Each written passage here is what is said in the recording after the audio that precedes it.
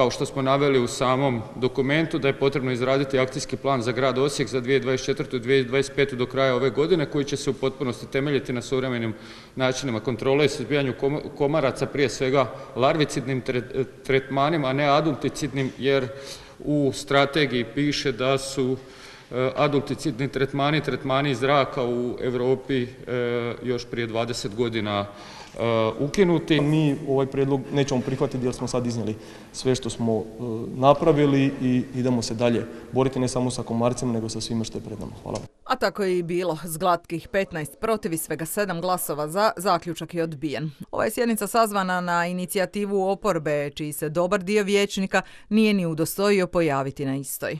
Moram izraziti i nezadovoljstvo s onim vijećnicima koji su potpisali e, zahtjev za tematsku sjednicu, a danas nisu došli. Mislim da to nije u redu ne prema ljudima koji su ovdje kao vijećnici ili dužnosnici, nego prema ljudima koji ovdje rade kao stručne službe. Ja im se zahvaljujem. Oni koji su potpisali po meni, onako ljudski, mislim da trebaju biti na sjednici. Zaključak je odbijen e, prema riječima vladajućih jer se sve što je na raspolaganju i u granicama dopuštenog već i provodi, o čemu su u prvih sat vremena detaljno govorili i predstavnici Odjela za biologiju i Nastavnog zavoda za javno zdravstvo Osječko-Baranjske županije te grada Osijeka.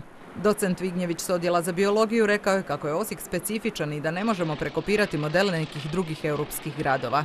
Bio sam na puno mjesta u Europi i u svijetu koji su imali problem komaraca. Osijek je stvarno specifično jedno mjesto.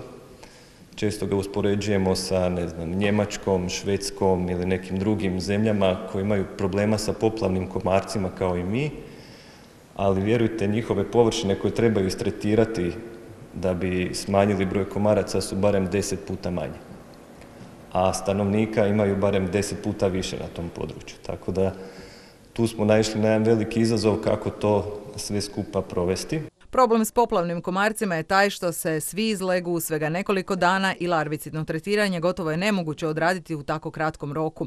Potaknuto je pitanje dronova. Tisuće i tisuće hektara koje imamo, koje nas okružuju poplavnog područja, da bismo tretirali dronovima, nama bi trebala flota u grubo 100 dronova.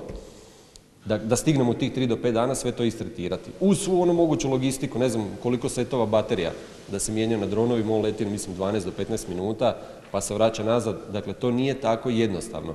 Ovaj, to je dobro, učinkovito, ali nije jednostavno. I ono što i struka kaže i praktički što ćemo raditi, upravo je kombinacija. Ipak sustav se pomiče i umrežavanje daje rezultate.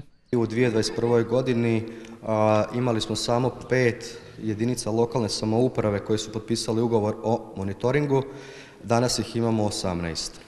I tih 18 jedinica lokalne samouprave lijepo rade, slušaju, izvršavaju preporuke naše. Upravo zahvaljujući monitoringu pravovremeno se tretira i to daje rezultate na nekim područjima učinkovitosti čak 97%.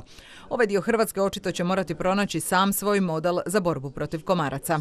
Ako bi išli svake godine u tretman komaraca, mi bi išli na način da bi postepeno smanjivali njihovu brojnost kroz godinu i da bi na kraju trebale samo svesti na neku prihvatljivu razinu i to održavati.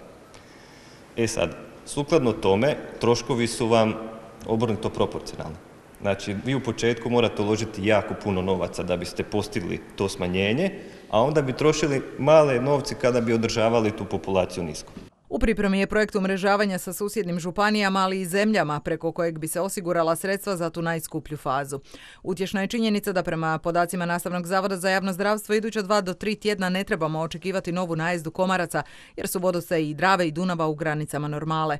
To su oni poplavni. A u urbanima trebamo sami voditi računa i ne ostavljati čak ni najmanje količine vode nepoklopljene.